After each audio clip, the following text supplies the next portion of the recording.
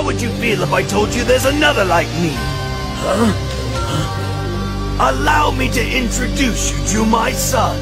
His name is Drogs. He too is a true Super Saiyan. He's not quite as strong as I am, but it would be hard to tell the difference between us. He has incredible power.